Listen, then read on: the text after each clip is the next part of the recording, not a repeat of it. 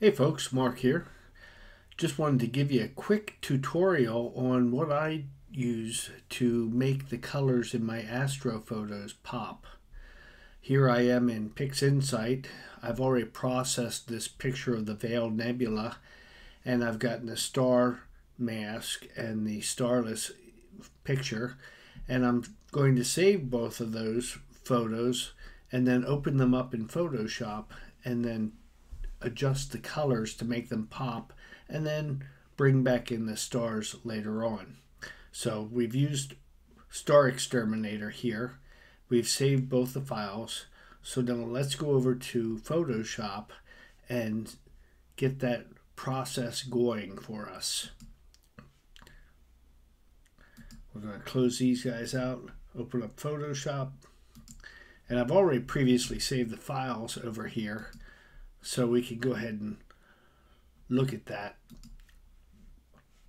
We're going to go to pictures and we're going to go to FOV test and open up our two TIFF files. And we've got those guys open now. And there they are. As you can see, they haven't had any adjustments done on them so what we'll have to do right now is we'll have to stretch them in Photoshop.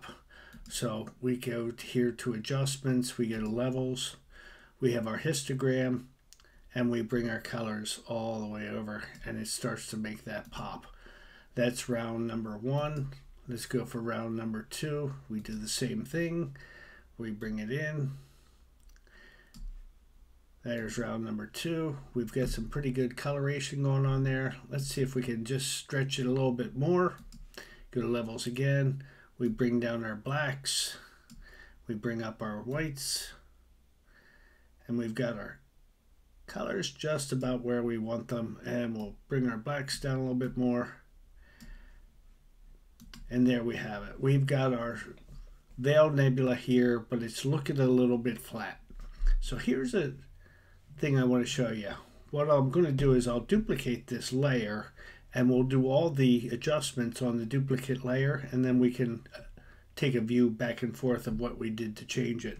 So I'll do Command J to double my vision or to duplicate my image and then the secondary image here, the layer 1 image, I'm going to go and take this image. I'm going to change the mode to lab color. And it'll ask me if I want to flatten it. No, I don't want to flatten it because that'll take away the secondary layer. So now that we're in lab mode, I'm going to adjust the A and the B channel. Lab is luminescence A and B channels. So we'll go here, we'll go to image, we'll go to adjustments, and we'll go to curves. And we have our three choices here. Luminous A and B. So we'll go to A channel and what we're going to do is we're going to bring in our sliders to about the first marker there. We'll call it 65 just for ease of adjustment. 66, 64, 65. There we go and then we'll go to B channel, do the same thing. You can also use the keyboard to punch in the numbers directly. That way you don't have to play with the sliders. So now we've got our colors much brighter and much more visible than we did before. And what we can do is we can mask this off and we can apply those colors just to where we want to. So we've got our layer open. First what we'll do is now that we've made those color changes, let's go back to our image. We'll change the mode back to RGB and we don't have to flatten it again. We're not going to flatten it. We're going to create a mask. We hit our mask button here. We now have a mask we can invert that mask by hitting Control plus I, and then we can use a brush with a white color background,